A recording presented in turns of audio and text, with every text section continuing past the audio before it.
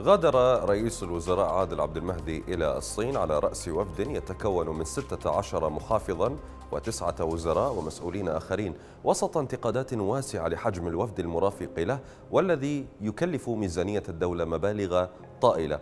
دعونا نشاهد هذه القائمة لأسماء الوفد المرافق لعادل عبد المهدي. لكم أن تحصوا هذه الأسماء بالأرقام المتسلسلة.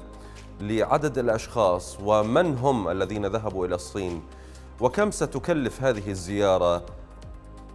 طبعا النثريات وتكلفة الإيفاد وغيرها من هذه الأمور المتعارف عليها عندما يأتي أي وفد من أي مكان إلى مكان آخر. لكم أن تتخيلوا هذه الأرقام التي تضرب في اثنين أو في ثلاثة أو ربما في عشرة في العراق.